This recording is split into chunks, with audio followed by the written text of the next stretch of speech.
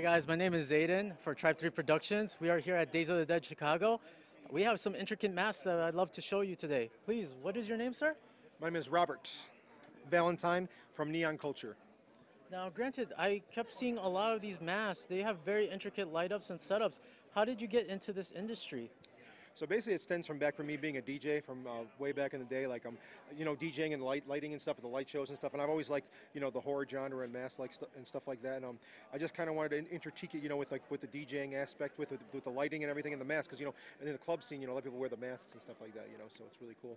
Yeah, I've been seeing that a lot in the industry where I think probably one of them would be Marshmello and all those other folks. And was there ever, since now you have uh, background in DJ, is there any particular reason why they want to do that on stage? Just wear a mask in general?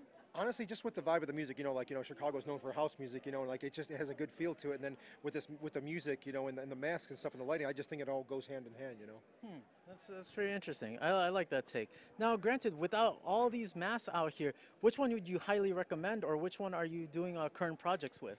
So this one right here, this is really cool. We actually made a Kickstarter on this mask right here back in um, two years ago during the pandemic and stuff like that. You know, we did it. It got it was successfully funded, and uh, we ended up putting out the mask and everything like that. And um, this is actually um, my buddy made the application. I came up with the idea. So basically, you could download any kind of face off the internet and put it on the mask. So say if you wanted to be like any any superhero character, say we're at a horror convention, say you wanted to be Jason Voorhees, download a picture of Jason, put it right on the mask all through your phone. It's really cool. Huh, that's, that's interesting. I really like. Oh wow. See, I yeah, mean, yeah. So yeah, so yeah, it's, it's, Uh, kind of going through them all right now. Dang, that's so sick. And Now, granted, I saw another mask that was very intricate. It's right here. Please introduce that one. Oh. Uh, this this is a new one we just started making. So these are all hand blinged by uh, by us. We put, we do the hand blinging and then we do the LED wiring and everything to this. So it's really cool. So it's kind of like a, a two face kind of mask. So it's really cool. oh man, I like that. It's a, it it's a very off- unique design. gives off that Especially if you got glasses or something, you know, you could wear it like this. So it's it's pretty cool. You know, so it's uh, it's pretty cool. I like that. It's, it's got that like Harley, uh, Harley vibe. Yeah, exactly. That's what we were going for. Yeah, the, half and half. You know what I'm saying? So it's, it's really cool. That's amazing. So now, granted, uh, how many conventions do you do? Which one do you guys do? Either horror, po- comic, uh, comic cons, Um, anything particular? we started off in horror conventions, you know, obviously because that's my go-to. I love horror movies. You know, I'm a big '80s horror movie fan, and um, we, we do everything. We do anime. We do um, uh, Comic Con. We do everything. You know, we, we kind of we travel the United States year round. This is what we do full time and stuff like that.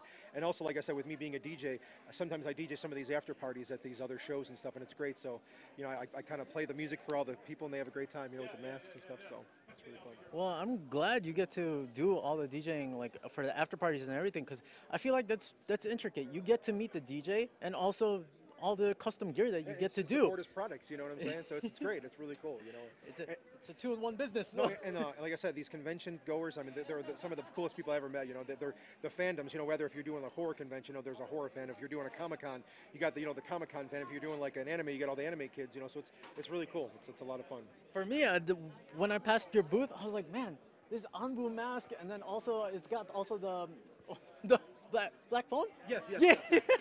the, And, then, uh, and then we got the uh, we got um, just just a bunch of different like you know kitsune masks and stuff like that. And just just a bunch of different stuff we had like that fun with. You know, so it's really cool. I, I, I, I really do like the, t- the aspect and everything of it. Thank you. By the way, so for all the folks that aren't able to attend Days of the Dead Chicago, where can we find you on social media so they can purchase a mask? Yeah, so uh, on Facebook it's uh, Neon Culture. Um, on Instagram it's Neon Culture. On TikTok it's Neon Culture. And then our official website is shopneonculture.com. Um, you can get all our masks there, and yeah, so it's, it's going to be uh, so you can get anything you want in there. And we do custom orders too. So say if you wanted like one of these masks with different colors, we can do that for you too as well. So it's really cool. That's a really cool idea with the with the handcrafted stuff. So All right, cool. Well, with uh, Demon Slayer always, uh, you know, putting out those fire episodes, I'll make sure to have a custom Anbu mask because I. need something for for a future anime convention. But again, thank you so much for taking part of you know part of your day to interview with us. And I got a question for you. Yes. We're on the interview. So we're at a horror convention in Chicago, right? I need to ask you a question. Hmm. What is your favorite horror movie? My favorite horror movie. Mmm, that's that's really tough. I gotta go. I just had to put you on the spot. And, and. Ooh, I, I gotta go old school. I really love Halloween. Halloween's classic. Halloween's a sure. classic. I can always put that on replay. Always a classic. Watch it year round. You know? Yeah, you're Yeah, watching yeah, it year sure. round. Now I gotta put you on the spot. Okay, Your turn. Okay. Oh, that's easy. Friday the 13th, Jason Voorhees. I mean, come on, that's iconic. That mask, you know, it's like, come on, it's it's great. So.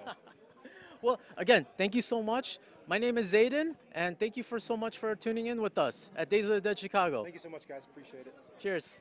Thanks, man. That was Thanks, cool. Zach. I I enjoyed that.